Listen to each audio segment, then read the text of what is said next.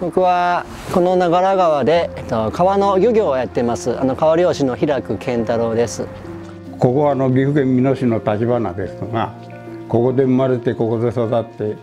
89年3ヶ月です。加野武と言います、えー、美濃の手すき和紙の職人をしております。服部治ですけど、えーと、漁師歴30年って言えばいいね。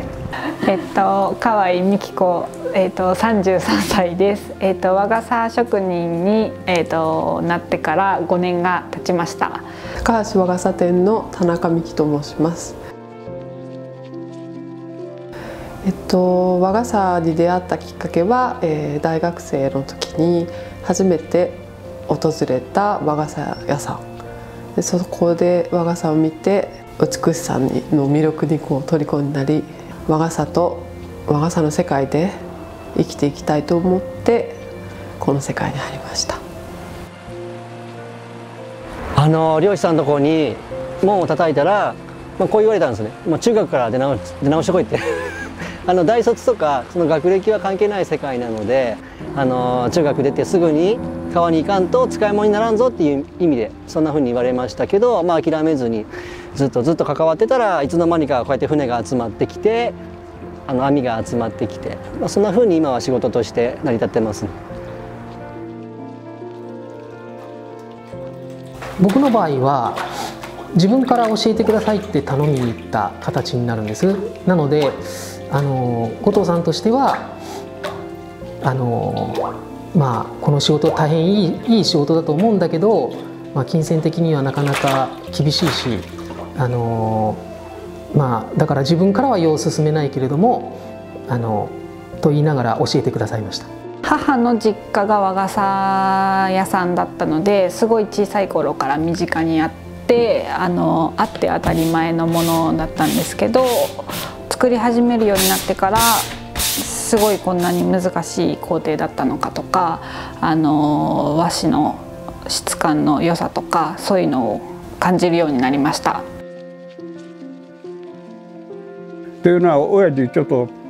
500というかあれどうな150まあ普通よりちょっと小柄な方やもんでこの辺昔はあの川の船の船頭が多かった。ところがお前こんなチビでは船頭にはちょっと無理やらでまあ船大工でも習ってこいというふうで放り出されたらしい。でそこで約14年間修行して帰ってきてここで始めた。仕事を見て学んだり聞いて教えてもらったりっていうことがなかなかできなかったので学ぶのにとても時間がかかりました。まあ、実際やってみるとあのすごい時間がかかりました。はい、うんなんて言ったらいいか。やればやるほどあのその難しさが分かってくるというか、うん、だから、うん、紙っていうと本当に見ただけでなくてやっぱり使う方の意見もあるもんですから使う方がこういう紙が欲しいとか。親父の世代の現役大工が多かったもんでまあ親父らから実際ぐらい前後まではおってその人が辞めても後継者のないとか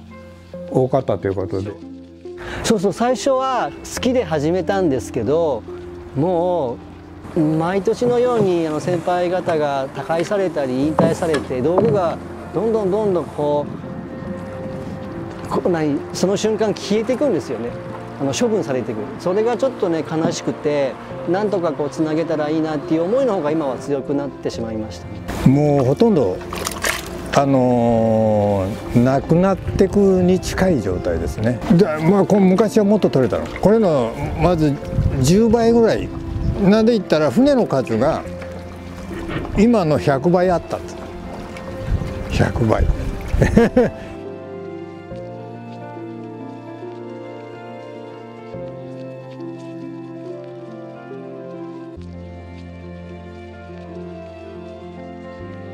和傘はあの完成品がすごい華やかなんですけどあの一つ一つの作業はすごく地味であの繰り返しの作業が多くて根気がいるのであのコツコツコツコツ積み上げることだと思ってます。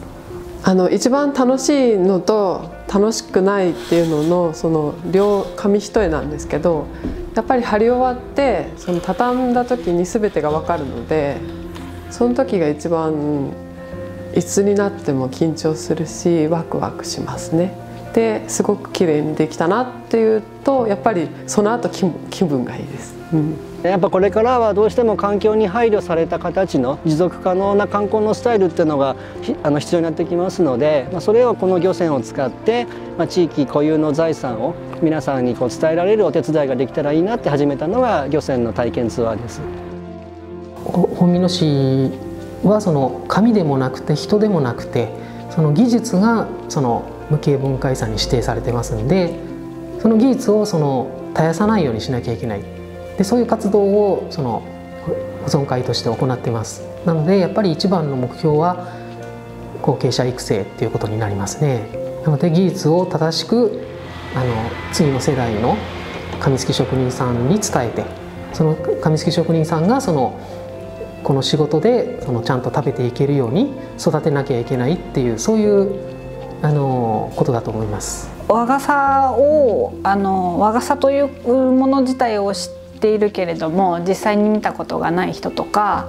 本当はもうもっとこういろんな傘があるんだよっていうのを少しでも多くの人に知ってもらってこう使ってみたいなっていうきっかけを作っていけたらいいなと思ってます。一番大切にしたいのはなくならないようにすることですね。あのこれからも何十年もつながっていくように、えっと、やれることは全てやっていきたいと思います漁師注文した人が浮かべてこいで実際漁をやってああ今度の船は使いがあってもいいし軽いし扱いがいいよって言われるのは最高やね。たくさん取れた時の感動っていうのはやっぱ何とも言えん感動があるね取りにくい魚やで。だからそれを取るっていうのはねチャンスが何回もない。そういう意味なの。ここはですね多分流域の方々86万人ぐらいいたと思うんですけどそういった方々によって守られてきた川なのでそれをきちんと僕らの世代がバトンタッチして次の世代にこの水を利用しながらそこに生き物がいてそれが食文化につながってるってことを伝えられるような、ま、漁業者になりたいなって思ってます。